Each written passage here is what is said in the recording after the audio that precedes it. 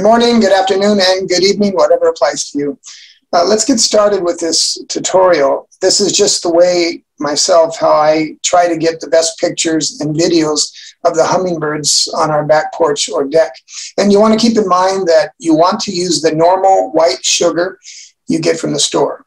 And you can heat it on the stove with four parts water one part sugar for the hummingbird nectar, and let it cool down before you pour the nectar into the feeder. Now, these are the type of feeders I use, except I have the red hanger as opposed to the black hanger that you see here.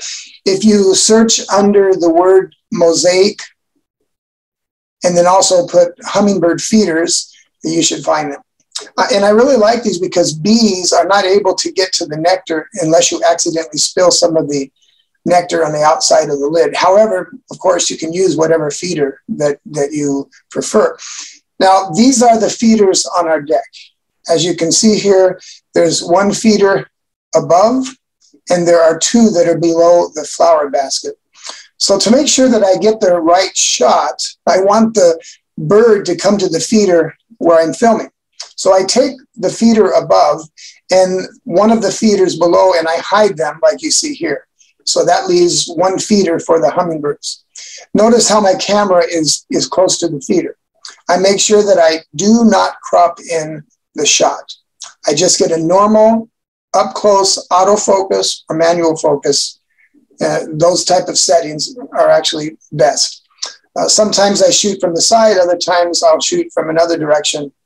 And because these birds change directions also, However, after I've made the proper settings on my camera and before I start shooting, I set the camera up close to the feeder, like you see here. I do not start filming. I leave the area and I wait until the hummingbird gets used to the camera being there. Usually it may only take about 15 minutes or so, or it might take a little bit longer. And then you wait till they come and they feed there comfortably. And once they stop feeding, or when you're ready to film and they stop feeding and fly away, go back to the camera, turn it on, and record. But then back away, go back 10 feet, or in my case, I, I go back inside our home. And I let the camera record for two to three minutes or so. And if the hummingbird has not shown up, then I go back out to the camera and I erase the footage and I set it to record again. And then I go back inside the house and wait. And I continue that process until the hummingbird arrives and I get the film or I finally get the shot. So you have to be patient, but it does pay off. Uh, here are some shots I filmed. And as you can see, if, if you get a good angle, uh, you can see the colors uh, of this one. I was very happy to get this shot. It just amazes me how just a little tilt of the head and it turns pink just like that.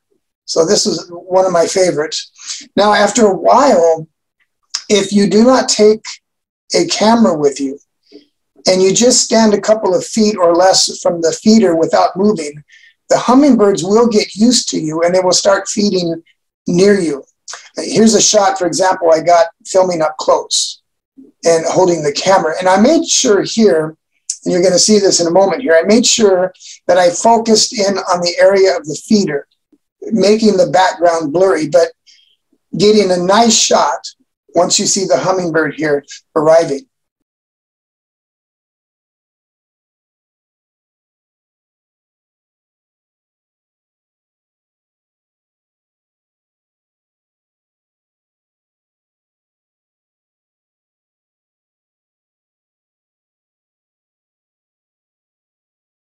This other one here I call Spider-Man because he's got so many right, that colors. It looks just like a he's wearing a Spider-Man mask. So these are some um, just suggestions, and if you have any questions, you can leave them in the comments. And hope you enjoyed this video. If you want to subscribe, that's fine. If you don't, that's fine too.